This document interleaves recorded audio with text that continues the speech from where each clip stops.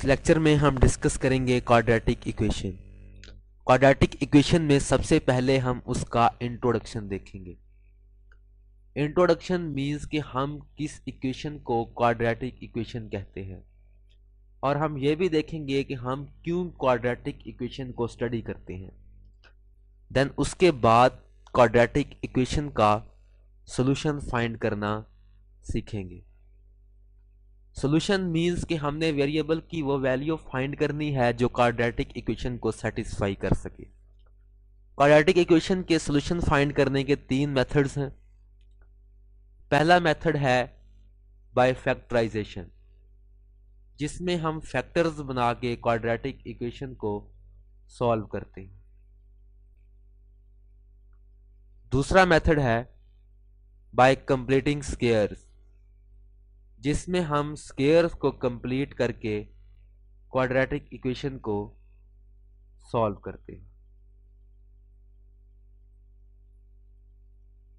और तीसरा मेथड है बाय क्वाड्रेटिक फार्मूला जिसमें हम क्वाड्रेटिक फार्मूला के ज़रिए क्वाड्रेटिक इक्वेशन को सॉल्व करते हैं। तीनों मेथड्स को डिटेल से डिस्कस करेंगे। सबसे पहले इंट्रोडक्शन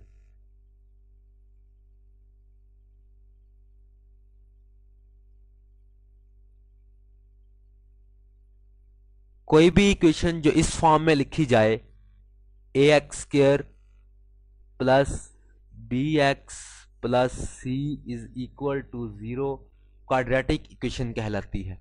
जिसमें कंडीशन ये है कि A is not equal to zero क्योंकि अगर ए ज़ीरो के इक्वल हो जाएगा तो फिर ये इक्वेशन क्वाड्रेटिक इक्वेशन नहीं रहेगी, बल्कि लीनियर इक्वेशन बन जाएगी।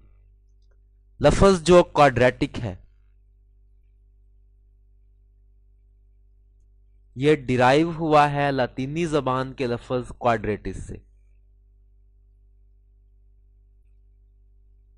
जिसका मतलब है स्केयर या टू क्वाड्रेटिक इक्वेशन में जो वेरिएबल की मैक्सिमम पावर है, वो टू होती है। और हमें पता है कि किसी भी इक्वेशन में जो वेरिएबल की मैक्सिमम पावर होती है, उसको हम डिग्री कहते हैं। So quadratic equation is a second degree equation quadratic equation को हम इस तरह से भी डिफाइन कर सकते हैं कि any second degree equation is called quadratic equation quadratic equation की हमारे पास जनरल फॉर्म है। A X square plus B X plus C is equal to zero इसमें जो पहली टर्म है। इसको हम कहते हैं क्वाड्रेटिक टर्म दूसरी जो टर्म है, वो लीनियर टर्म और तीसरी टर्म हमारे पास कांस्टेंट होती है। अब क्वेश्चन यह है कि हम क्वाड्रेटिक इक्वेशन को क्यों स्टडी करते हैं? Why to study quadratic equation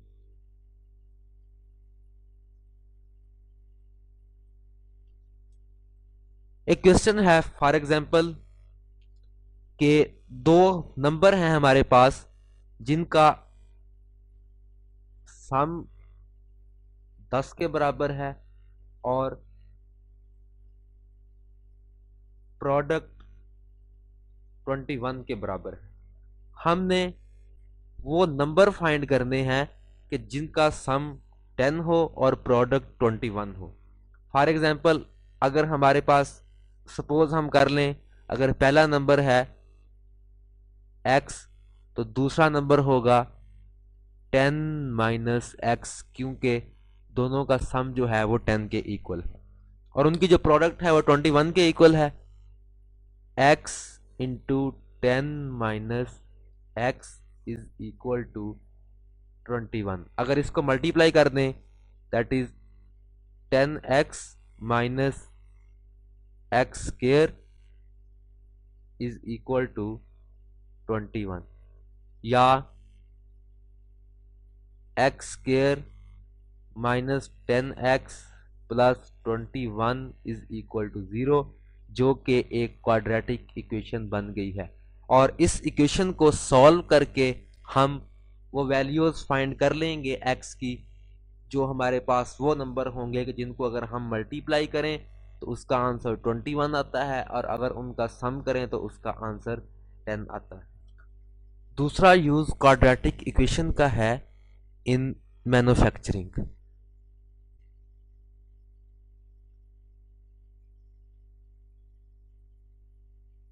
ये एक डिश अंटीना दिखाया गया है। ये डिश अंटीना की बनावट है, वो क्वाड्रेटिक इक्वेशन को यूज़ करके ही बनाया जाता है। दूसरी एग्जांपल ये सस्पेंशन ब्रिज की है। सस्पेंशन ब्रिज भी क्वाड्रेटिक इक्वेशन को यूज़ करके ही बनाया जाता है। क्वाड्रेटिक इक्वेशन की एक इंपॉर्टेंट एप्लीकेशन है दैट इज़ पाइथागोरियन थ्योरम मसला फिसागोरस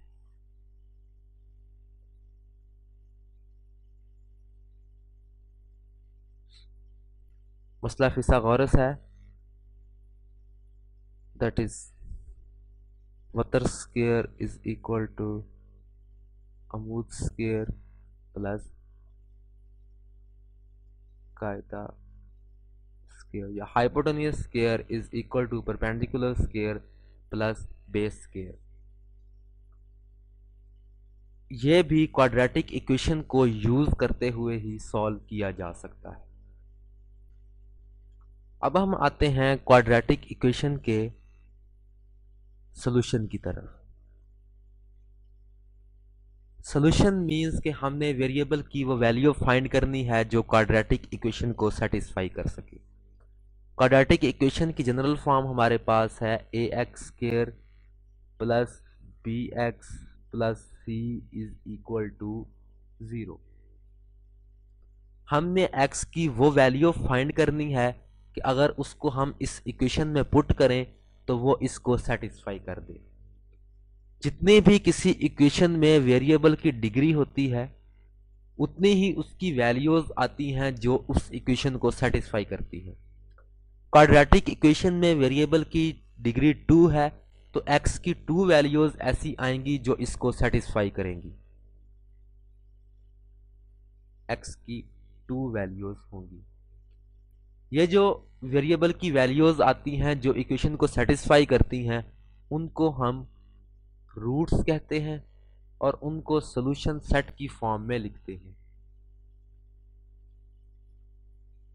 सोल्यूशन सेट डिनोट किया जाता है एस एस से S S is equal to पहली वैल्यू देन उसके बाद दूसरी वैल्यू अब क्वाड्रेटिक इक्वेशन को सॉल्व करने के डिफरेंट मेथड्स सबसे पहला मेथड बाय फैक्टराइजेशन।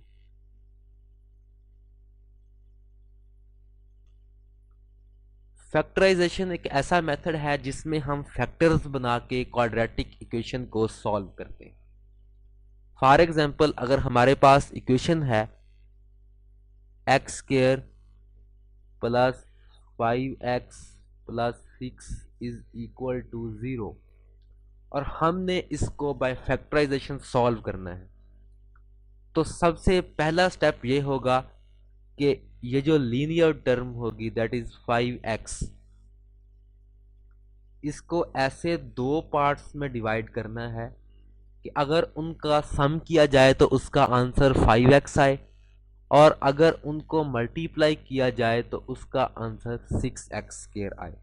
अगर हम फाइव एक्स को टू एक्स और थ्री एक्स इन दो पार्ट्स में डिवाइड कर दें तो अगर उनको हम सम करें तो उसका आंसर फाइव एक्स आता है। और अगर उनको मल्टीप्लाई करें तो उसका आंसर सिक्स एक्स स्केयर आता है।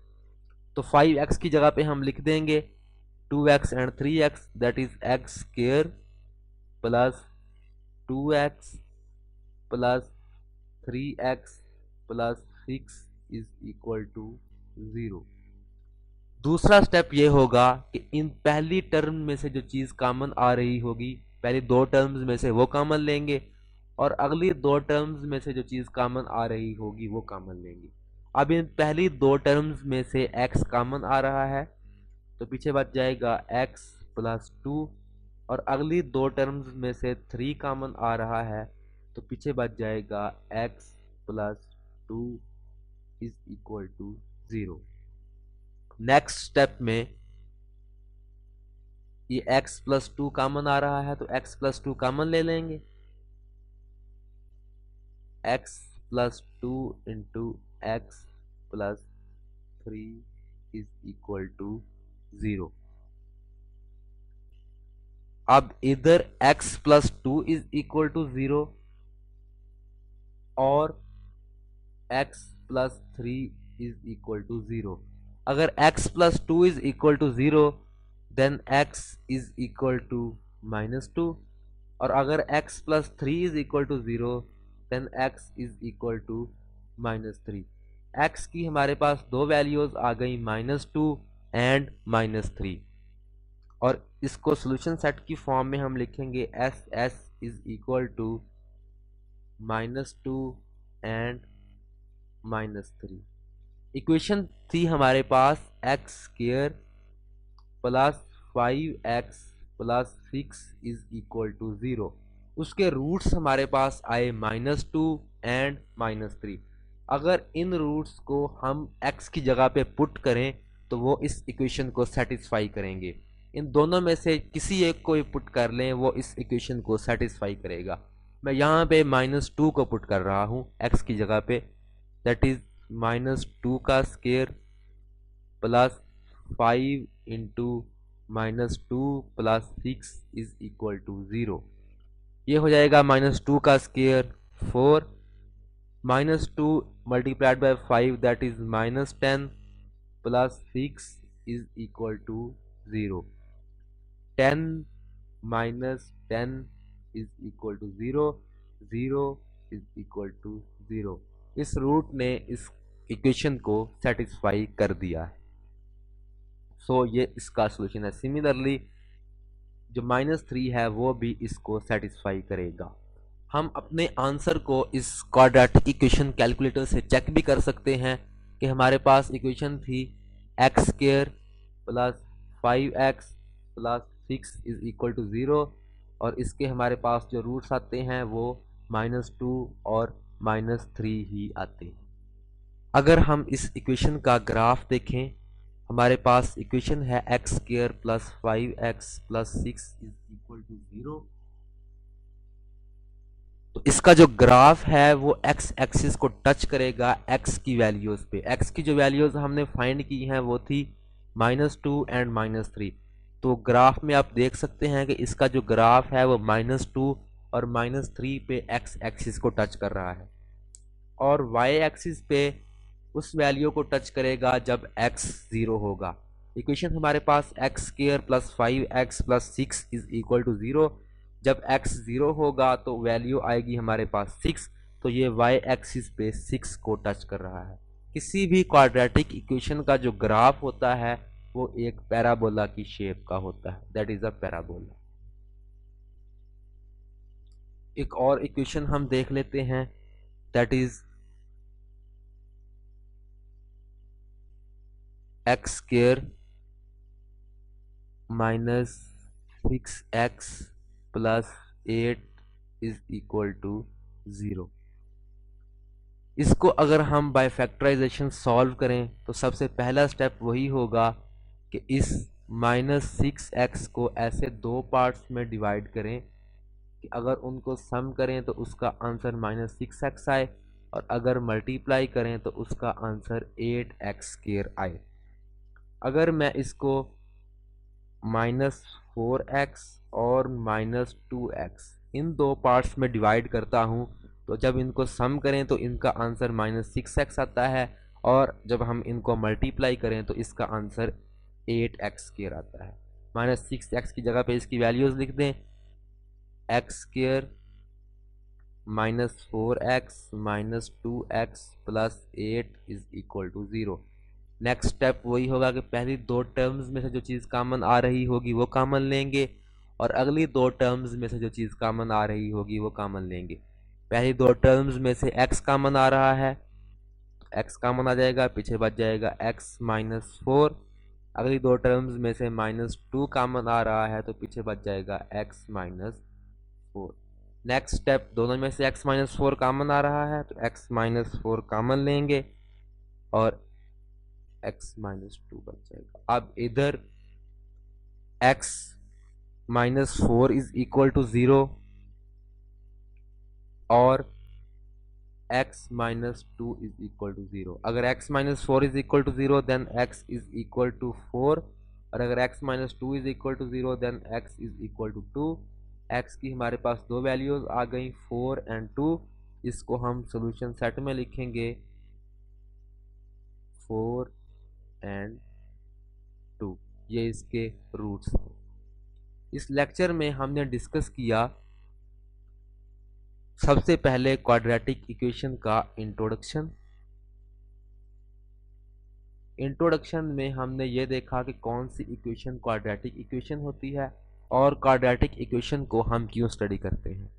देन हमने डिस्कस किया सॉल्यूशन सॉल्यूशन में हमने ये देखा कि सॉल्यूशन में हमने वेरिएबल की वो वैल्यू फाइंड करनी है जो क्वाड्रेटिक इक्वेशन को सेटिस्फाई कर सके। क्वाड्रेटिक इक्वेशन के सॉल्यूशन के तीन मेथड्स हैं, लेकिन इस लेक्चर में हमने सिर्फ़ पहला मेथड डिस्कस किया बाय फैक्टराइजेशन जिसमें हम फैक्टर्स बना के क्वाड्रेटिक इक्वेशन को सॉल्व करते हैं। इससे नेक्स्ट लेक्चर में हम डिस्कस करेंगे क्वाड्रेटिक इक्वेशन को सॉल्व करने के दूसरे दो मेथड जो के हैं बाय कंप्लीटिंग स्केयर्स जिसमें हम स्केयर्स को कंप्लीट करके क्वाड्रेटिक इक्वेशन को सॉल्व करते हैं। और बाय क्वाड्रेटिक फार्मूला जिसमें हम क्वाड्रेटिक फार्मूला से